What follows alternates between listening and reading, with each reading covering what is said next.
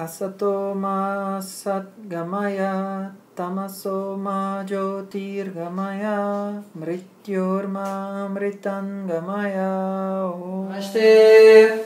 Chegamos ao nosso Jyotisha Namastê 40. Yeah. Passo importante na nossa playlist, é, lá no nosso canal youtube.com.br Namastê Agora apresentaremos a 17ª Nakshatra, Anuradha Nakshatra. Se você chegou agora, está boiando, eu sugiro você voltar ao início da nossa playlist, onde Jyotish se escreve assim. J-Y-O-T-I-S-H.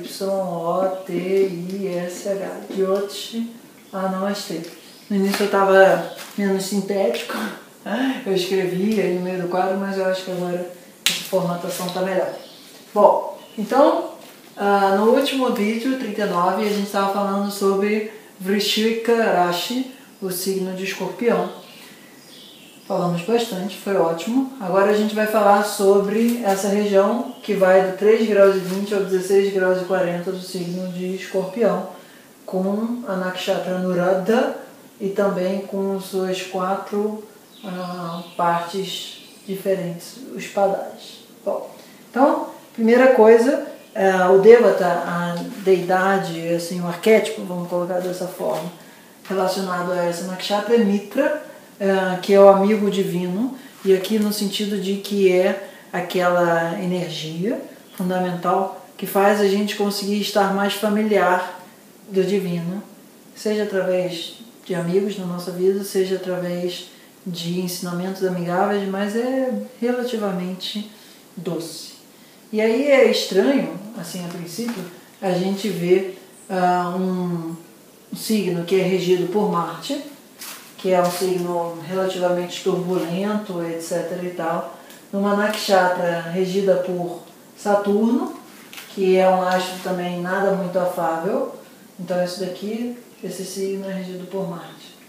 É, ter uma característica de uma energia tão benéfica, aí a gente vai se aprofundar nisso agora, mas vamos com calma.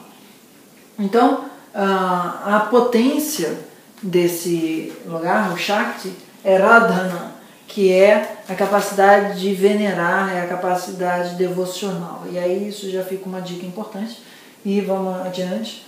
Uh, o símbolo dele é a flor de lótus, que no meio da, uh, do lodo, lá, uma água impura, consegue fazer brotar algo muito magnífico, muito belo, nesse sentido, muito divino.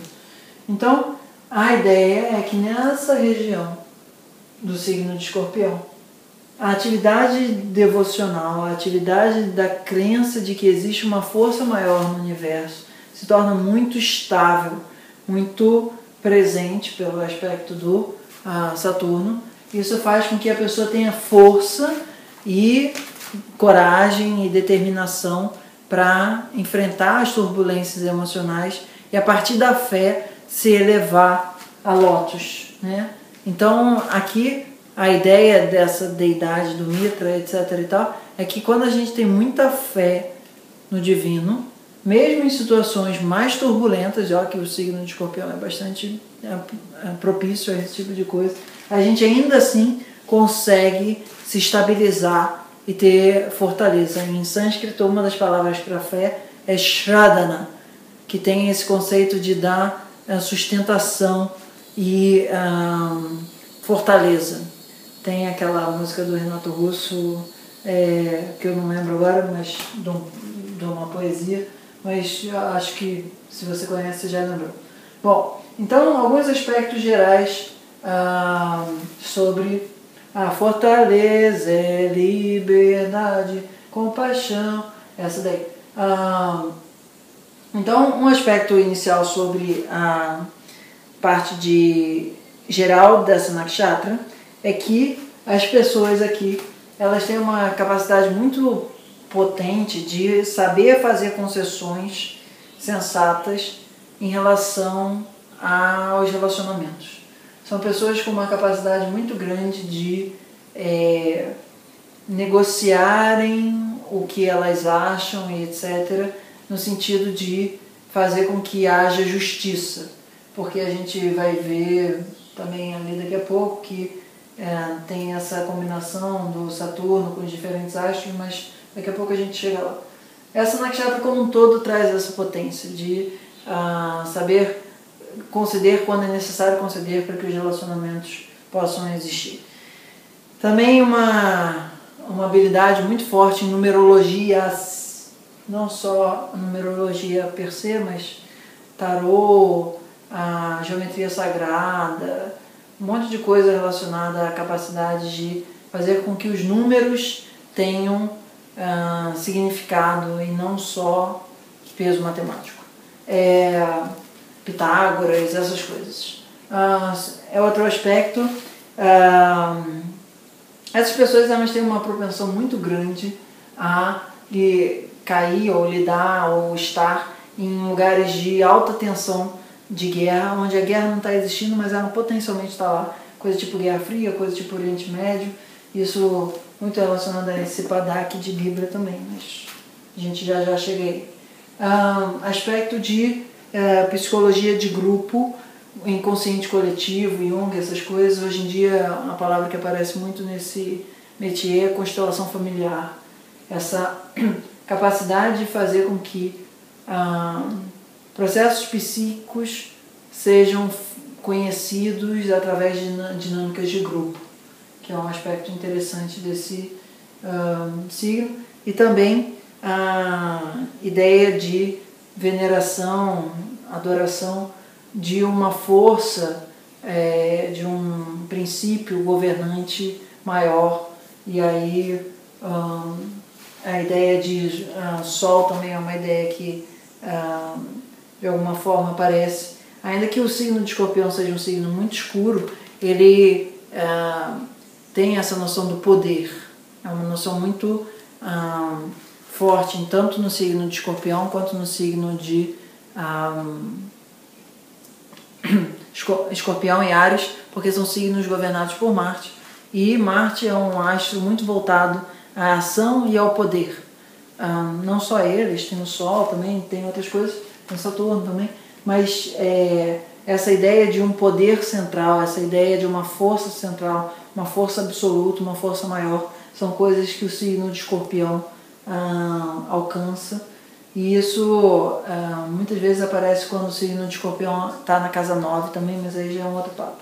Bom, então agora vamos voltar à é, especificação de cada um desses 3 graus e 20, que a gente chama de padas dentro do Nakshatra de Anuradha. Essa combinação de Saturno, ou desculpa, de Marte no nível do signo macro, de Saturno no nível meso, faz com que haja uma necessidade de que seja buscado um maior conhecimento sobre as emoções ou seja, Marte em escorpião, de uma maneira estruturada, de uma maneira organizada, de uma maneira ponderada. Isso é relativamente bom, porque Marte e Saturno normalmente são astros que funcionam muito mal quando estão juntos. Mas aqui, energeticamente, eles encontram um ponto de equilíbrio, porque essa energia do Marte aqui está mais feminina e isso faz com que ela fique mais lenta e menos explosiva e isso faça com que a capacidade de ação, que é uma coisa que o Saturno gosta em um certo sentido precisa, é, seja, digamos, direcionada estruturada, que é uma palavra importante do Saturno, em torno de uma finalidade e de uma persistência num objetivo. Então, Marte como macro é a capacidade de ação e a vontade da ação de uma maneira para dentro das emoções. E o Saturno é a paciência, calma, perseverança, disciplina. É tudo bem que o Marte seja disciplinado também, mas é mais disciplinado para atingir uma meta e não exatamente para seguir um caminho. E o, o Saturno é a disciplina para seguir um caminho, independente do quão é, chato e machucando e terrível ele seja. Então, esses dois é, astros, tanto no nível macro quanto no nível meso, fazem uma capacidade de ação muito forte em relação às emoções, é, tanto de si quanto de fora. Aí, quando vai para o primeiro padá, que é no signo de leão, isso vai fazer com que essas energias se voltem tanto a aspectos governamentais, de alto escalão, e aí nesse caso aqui é, pode dar espiões e pessoas relacionadas a, atividade de serviço secreto, é uma coisa que está muito afinada com esse lugar, mas também com a busca de fazer com que haja militância, que é uma palavra que vai estar relacionada a essa, esses três astros, eles são muito belicosos, tanto Saturno quanto o Marte quanto o Sol em algum grau. Mas essa belicância, ela vai formar assim muitas pessoas voltadas a uma busca de autoconhecimento sobre as emoções e fazer com que haja uma, uma necessidade de transformação do mundo a partir de dentro e não de uma maneira necessariamente imposta a partir de fora. Esses movimentos de uh, novos tendências de psicologia e etc e tal, como aquela psicologia transpessoal, etc. Bom, no segundo padá, essa energia vai estar é, tá refinada assim na ponta pela energia de Virgem, que é uma energia muito mais pacífica e muito mais calma do que a de Leão.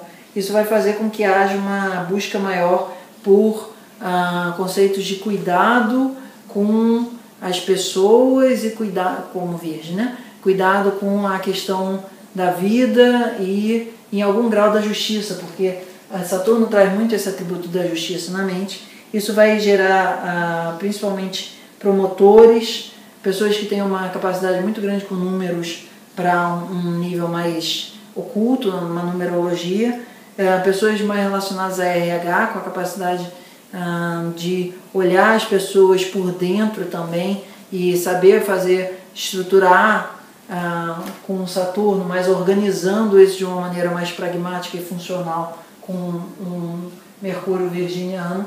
Isso vai gerar pessoas que é, são muito boas em decodificar segredos também, que é, é a análise do Mercúrio atuando junto com a capacidade de queimar a força do Marte, etc.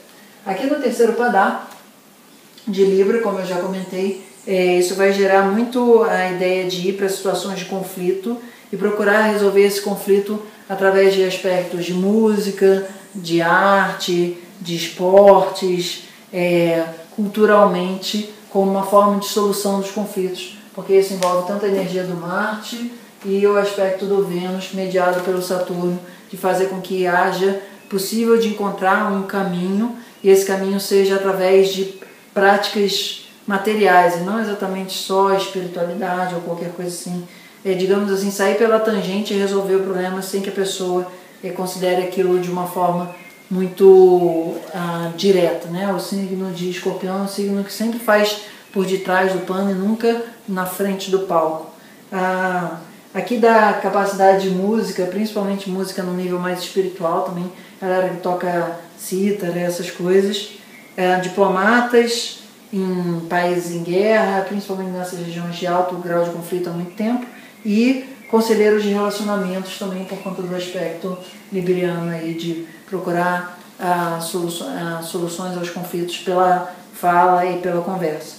E aqui em, no quarto padá, em escorpião de novo, a energia nesse lugar é muito forte para o esoterismo, para a busca daquilo que é secreto, para a busca daquilo que é oculto, e isso vai com o aspecto da mente, que está muito relevante nas emoções, hipnose, é, indústria de armas também, por conta da influência do Marte e do Saturno, e a dança sedutor, sedutora na parte mais sexual da coisa também, por conta dessa duplicata da energia de Marte em torno das emoções e da sedução, mas também relacionado a uma busca pelo divino de uma forma mais uh, primal, mais energética, Tantra, uh, Kundalini Yoga, é, práticas energéticas que façam com que a nossa energia primordial exploda pelo topo do, do chakra e isso gere iluminação. Não é uma coisa muito delicada, mas é uma coisa que atrai muitas pessoas com essa verve mais intensa. Digamos que é uma área mais espiritualista potencialmente dessa nakshatra por uma prática mais esotérica. Vamos, agora vamos para Jesta Nakshatra. Aguardo você. Prepare-se para o incrível mundo do Jyotish. Envie e-mail e vamos nessa. Namastê!